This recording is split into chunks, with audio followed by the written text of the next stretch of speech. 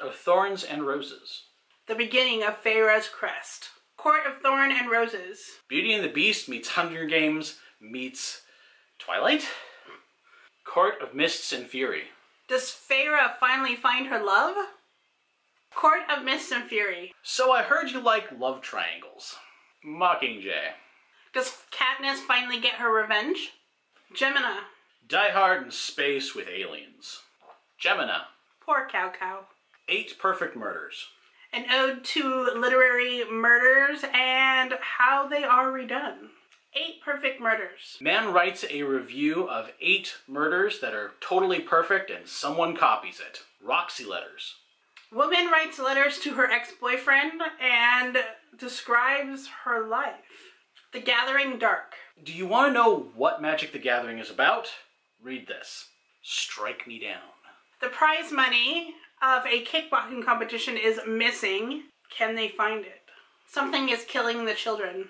Monster eats children in a small town. Monster Hunter comes. Not everyone's happy about it. Kind of famous. It's kind of like almost famous, but really not. Superman smashes the Klan. Racism's gotta go. Alien fixes things. Fake it till you make it. Can you really fall in love with someone while being someone else? Streamliner. Cars go fast. Let's watch. Feast of Fiction Kitchen. Have you ever had Klingon ale? Into the Chrysalis. A man living with abuse turns inward and finds himself. How to raise a loaf. Let's bake some sourdough. Welcome to the new world. Immigrant family tries to fit in in America that doesn't necessarily support them.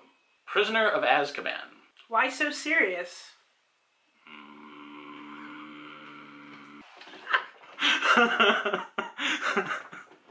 So my stats for the month pages, it was 4,476. I read 12 books, which is definitely down. I am down from what I normally do. So I read 12 books. I DNF'd six books, which is probably the most I've DNF'd since January.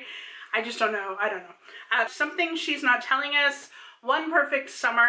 We didn't ask for this. Dead to Her. Long Bright River and The Two Lives of Lydia Bird. I DNF'd all those books. I just, I don't know.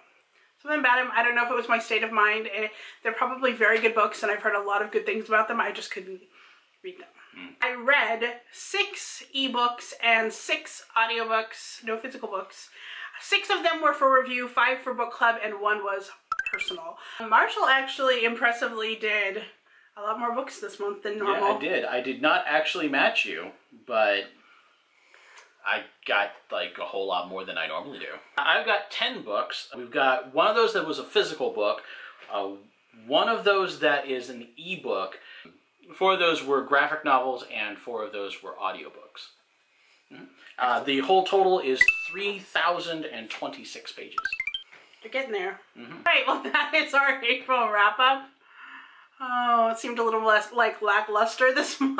I don't know why. Yeah. Oh no, we had some fun. Everything is tagged down below so you can uh, go and search for these titles as well if you're interested. And all of our reviews are also on this channel, so go look for them. And if you're not interested, do it anyway. Do it anyway. Until next time. Stay zany. Bye-bye.